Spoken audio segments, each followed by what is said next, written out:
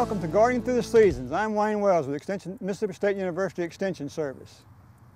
Today we're here at the, the Mississippi State University uh, North Farm uh, Turf Research Facilities and the topic today is uh, managing weeds in our landscape. Probably most of us uh, have problems with weeds from time to time in our gardens or in our lawn and uh, we hope today by the, this discussion we'll be able to pick out some of those things that help us and even our lawns prepare ourselves better for weed management. Uh, a couple few basic steps that I usually cover and talked about is uh, first we need to uh, practice good turf management. Understand weed types and their growth cycles, develop simple identification techniques. We need to learn basic herbicide terminology and finally, we need to develop some calibration and application skills to put those herbicides out successfully. As I look at the quality of this turf, it's very nice and dense and healthy, nice good color, mowed properly, weed free. And that goes back to that first step that we talked about. Good quality turf and good cultural practices are the key to competition in weeds. We can keep the competition out by proper mowing, put fertilizer out when the, when the grass needs to be fertilized. We also need to maintain our water regime on the grass to keep it good and healthy and also protect it from other diseases and insects that may weaken the turf and thin it out so the weeds can have a chance. Good cultural practices are the key to weed management. Our third step in good management of turf is, uh, weeds are to uh, understand the weed types and the growth cycles of those different weeds. For instance, we have grasses, which may be annuals or perennials. We have sedges, which can also be annuals or perennials. Most of them are perennials. And we also have broadleaves, which can be both of those. Now, the different types of growth habits may be winter annuals, since they grow in the wintertime and go through the spring, or summer annuals like this crabgrass over here that actually grows in the summertime. So knowing those different types, when they grow, and the type of grass, grasses, sedges, or broadleaves will help us identify those weeds and how to categorize to control them.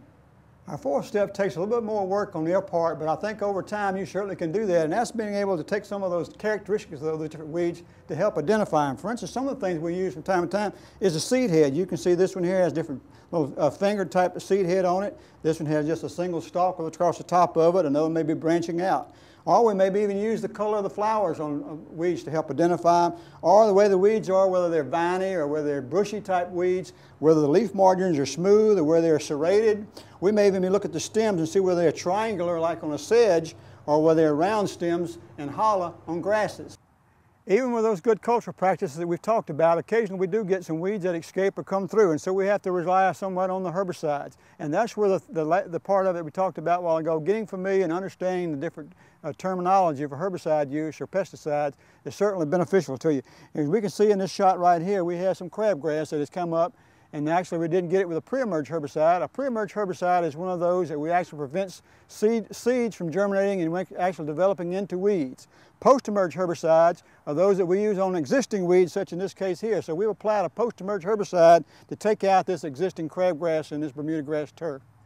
To be successful with herbicides, it's absolutely critical that we understand calibration and application techniques, whether or not we're using a, a liquid spray or whether we're using a granular application, whether or not it's a single nozzle or maybe a multi-nozzle sprayer, it's important that we actually know exactly what we're putting out because it's not so much that we, the volume of water we put out, it's the active ingredient per surface area. For instance, if we go twice the speed one place and half the speed the other difference, we may actually be double to four times the rate. When we double the speed, we cut the rate in half.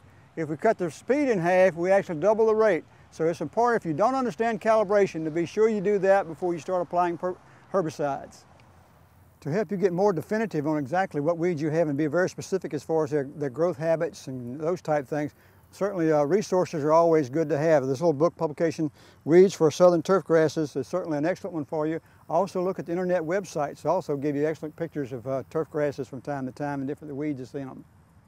To be able to find more information about actual herbicide terminology and how to apply those herbicides and actually which herbicides to put on different grasses and so forth, let me recommend two of our extension publications I think that would be very helpful to you.